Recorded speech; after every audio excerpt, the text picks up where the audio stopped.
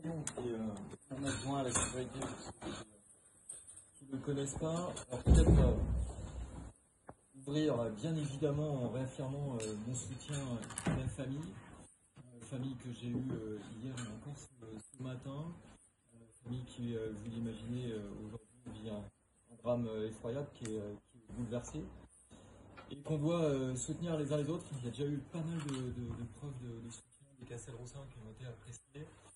Euh, voilà, il faut rester euh, digne, c'est ce que souhaite euh, la famille, c'est aussi ce que je souhaite, notamment que euh, l'enquête aujourd'hui est toujours en cours, des gardes à vue contre encore tous les tenants et les, abouti- les aboutissants de, cette affaire.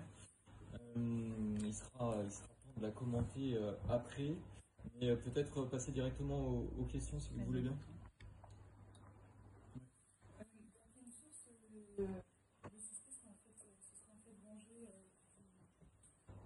De, la victime qui, plutôt dans la matinée, l'aurait insulté, euh, notamment en raison de son origine euh, afghane.